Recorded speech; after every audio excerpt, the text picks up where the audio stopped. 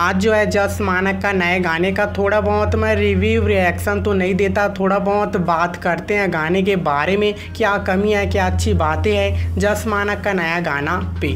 First music mix voice की बात करें तो भाई, जो जस मानक की वॉइस है उस गाने में कुछ अलग ही टाइप का है। एंड म्यूज़िक भी बेसिकली सबको अच्छी लगी होगी बट लोग जस मानक के बीट पे थोड़े बहुत सवाल उठा रहे हैं।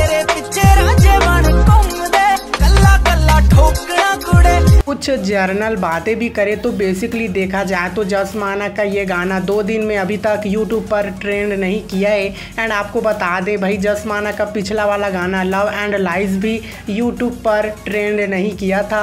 बेसिकली देखा जाए तो ये एक जसमानक के लिए स्ट्रगल हो सकता है कि भाई जसमानक को फिर से मेहनत करना पड़ रहा है यूट्यूब पर ट्रेंड करने के लिए। बेसिकली देखा जाए तो जसमानक कोई छोटा मोटा सिंगर तो नहीं है। इन्होंने इंडिया में सबसे बड़ा गाना दिया है। तो बेसिकली जस मानक छोटे तो नहीं है बट हाँ अभी स्ट्रगल करना पड़ रहा है यूट्यूब ट्रेंडिंग को लेकर।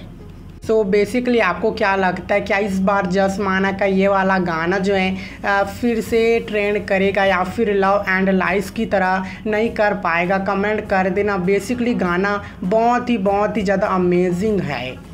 जो लोग ये गाना सुन रहे हैं, उनको तो बहुत ही अच्छा लग रहा है। बेसिकली जो पहले वाले जस मानक को मिस करते थे, वो बोलते थे कि भाई ओल्ड जस मानक इज़ बेस्ट तो जस मानक ने बहुत ही अच्छा ट्राई किया है, जहाँ पे उन्होंने ओल्ड वाइब लाने की कोशिश किया है। जहाँ तक देखा जाए तो जस मानक का ये गाना जो है ओल्ड वाइब देता है। बेसिकली जस मानक जो third only on Punjabi language use करते थे, उसी टाइप का लैंग्वेज जस मानक ने अपने नए ट्रैक में यूज़ किया है।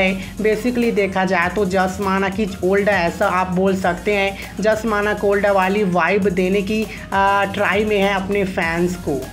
पर्सनल बात ही करें तो भाई ये गाना जस मानक का मेरे को पर्सनली बहुत ही पसंद आया। जहाँ तक मैंने सुना है कि भाई ये गाने को मैंने पचास बार से ज़्यादा बार सुन चुका हूँ। वन डे पे इसका स्टोरी स्टेटस मेरे पे डला ही रहता है। आपने देखा होगा बेसिकली आपको कैसा लगा ये गाना? कमेंट कर देना। मेरे को तो सारे के सारे जस मानक के गाने ही पसंद आए। आपको कैसा लगता है? कमेंट कर देना।